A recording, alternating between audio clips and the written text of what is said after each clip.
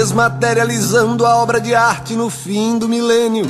Faço um quadro com moléculas de hidrogênio, fios de pentelho de um velho armênio, cuspe de mosca, pão dormido, asa de barata torta. Meu conceito parece à primeira vista um barrococó figurativo neo-expressionista, com pitadas de arte nouveau, pós-surrealista, calcado da revalorização da natureza morta.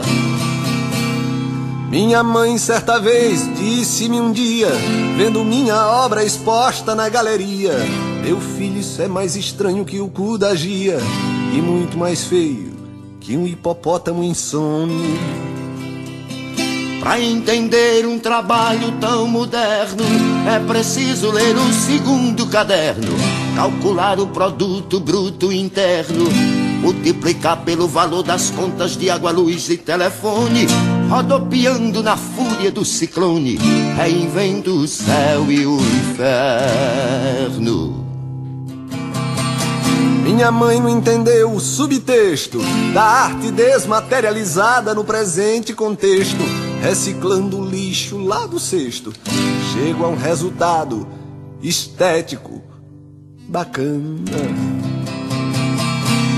Com a graça de Deus e Basquiat, Nova York me espere que eu vou já.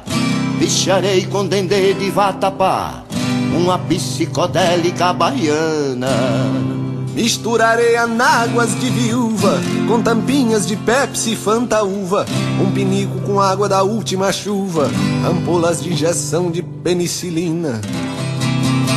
Desmaterializando a matéria com a arte pulsando na artéria. Boto fogo no gelo da Sibéria, faço até cair neve em Teresina. Com o clarão do raio da cilibrina, desintegro o poder da bactéria. Com o clarão do raio da cilibrina, desintegro o poder da bactéria. Balé. Salve Zé.